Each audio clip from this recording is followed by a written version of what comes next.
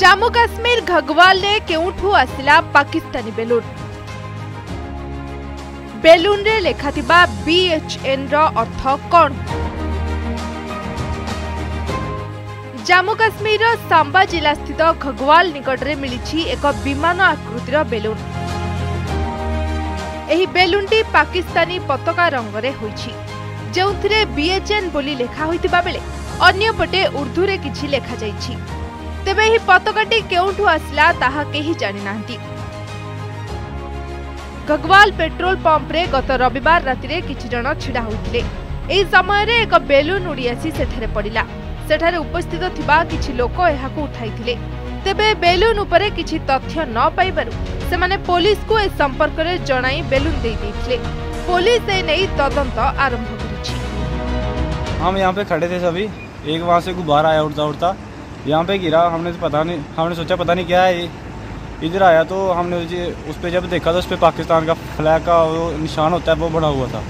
हमने जब देखा उसको तो वो उस पर था कुछ नहीं बस ऐसे ही था एक गुब्बारा ही था और फिर हमने हमने सोचा पता नहीं कि क्या है हमने पुलिस को इन्फॉर्म कर दिया पुलिस वाले आए थे उन्होंने देखा वगैरह वो गुब्बारा वगैरह ले ले गए अभी आगे पता नहीं क्या करता है था तो कुछ नहीं बस ऐसे नॉर्मल ही था क्या था उर्दू में लिखा हुआ था हमको कुछ समझ नहीं आया उर्दू हमें आती नहीं है ଏହି ଘଟଣା ପ୍ରଥମ ଥର ନୁହେଁ ଏହା ପୂର୍ବରୁ ମଧ୍ୟ ଏପରି ଘଟଣା ଘଟିସାରିଛି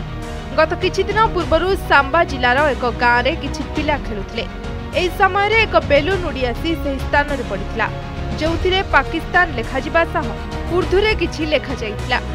ତେବେ ଯଦି ଏହି ବେଲୁନ୍ ପାକିସ୍ତାନରୁ ଜାଣିଶୁଣି ଛଡ଼ାଯାଇଛି ତେବେ ବିଏଚ୍ଏନ୍ର ଲେଖିବା ପଛରେ କିଛି ରହସ୍ୟ ଥାଇପାରେ ବୋଲି ସନ୍ଦେହ କରାଯାଉଛି ବ୍ୟୁରୋ ରିପୋର୍ଟ ଅର୍ଗସ୍ ନ୍ୟୁଜ୍